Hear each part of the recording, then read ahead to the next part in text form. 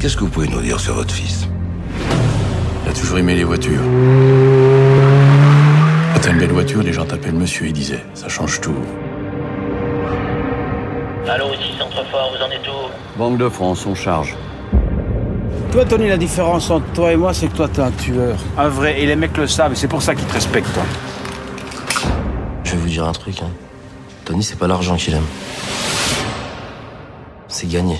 Finalement, moi, j'étais comme tout le monde, j'avais lu les faits divers. Et ensuite, quand on m'a proposé le scénario, je me suis rendu compte que c'était comme une enquête euh, à l'intérieur de sa tête, comment il allait élaborer stratagème, comment il allait s'y prendre pour réussir son coup. Et en découvrant que le personnage était un taiseux, j'ai compris que tout le rôle se ferait dans le silence et que la caméra allait essayer de comprendre ce que le type avait dans la tête. Et finalement, ça représentait un challenge qui était assez intéressant. Je dirais même qu'après un touchable où je ne pouvais pas bouger, là d'un seul coup, de ne pas pouvoir parler, ça me, ça me permettait d'essayer de découvrir autre chose. Il subit une telle humiliation récurrente, c'est-à-dire que, comme le film le montre, on ne veut pas lui donner une après-midi de congé pour aller enterrer un de ses amis, on lui grignote des petites minutes de travail sur sa fiche de paye, et ensuite on ne parle que chiffres et rendements. Tony, je te l'ai déjà dit, si t'as des problèmes avec la direction, viens nous voir, les syndicats, c'est fait pour ça. Mais qui t'a dit que j'avais des problèmes? J'ai pas de problème. Tu prends pas? Non. Tu risques des sanctions disciplinaires. Ouais, je sais. Monsieur Tony Musulin refuse de prendre la convocation. Tiens, c'est moi ce truc. Bon. Tu marques, euh, Musulin refuse de signer.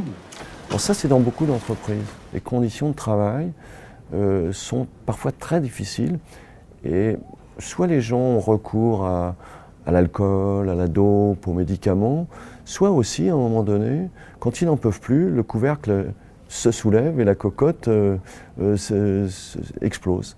Et c'est un peu l'histoire de Musulin, c'est que d'un seul coup, euh, il a pété un plomb.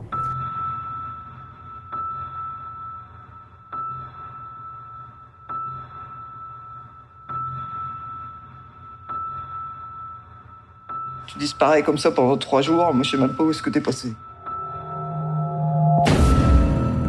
Ma vie a été un peu compliquée, mais bon, là, elle est devenue très simple. Qu'est-ce que je dois pas savoir? Je pense que vous verrez ma photo dans les journaux. Tu deals du tush, tu deals de la coke, je sais pas, mec. Tu fous quoi? Puis vous allez entendre dire des trucs à la télé, sur Internet.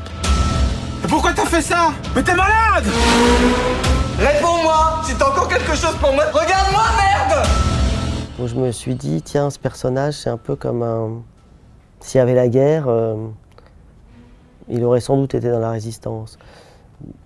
Dans la résistance, il y avait sûrement des gens pas parfaits, euh, avec leurs défauts. euh, c'est loin d'être un, d'être un homme parfait. hein.